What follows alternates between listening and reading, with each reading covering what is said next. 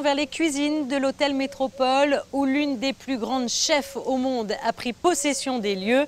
Derrière les fourneaux cet été, euh, la chef catalane Carme Ruscaleda, Fabien Bonilla. Trois restaurants et sept étoiles au Michelin, il n'en faut pas plus pour installer le décor. Cet été, durant les dîners des mois de juillet et août, la brigade de Carme Rouge-Caleda euh, s'est installée au restaurant Odyssée de l'hôtel Métropole. Les chefs Joël Robuchon et Christophe Cusac ont, convié la chef catalane à créer sur place un restaurant éphémère pour y prodiguer les bienfaits de sa cuisine. Carme Rouge-Caleda est actuellement la seule femme au monde à avoir obtenu trois étoiles, puis deux fois deux étoiles au guide Michelin. C'est la chef la plus étoilée du monde, la plus hautement étoilée du monde, et qui a été invitée par le chef le plus étoilé du monde, euh, à son âme.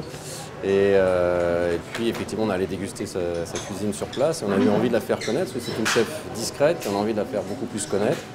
Et puis apporter la, gastronomie espagnole euh, à Monaco, ça avait un certain intérêt.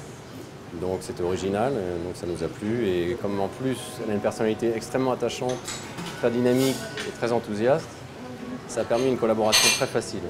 Avec sa cuisine catalane, moderne et créative, Carmouche Caleda joue sur les contrastes et les textures des plats avec un style gastronomique bien à elle.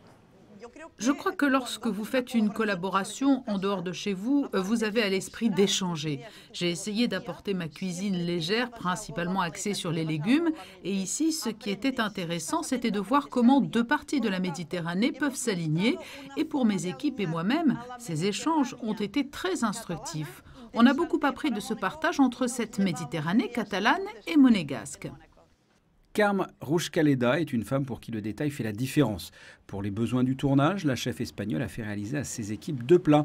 Un plat salé, son célèbre Mondrian, une brindade avec par-dessus une gelée de poivrons et d'olives au style du peintre abstrait néerlandais Piet Mondrian, ainsi qu'un dessert, là aussi extrêmement original, le Buscando a Nemo, que l'on peut traduire par à la recherche de Nemo, un dessert composé par une glace à l'eau de mer surmontée d'une mousse d'amande avec par-dessus de l'huile d'olive et la décoration qui va avec.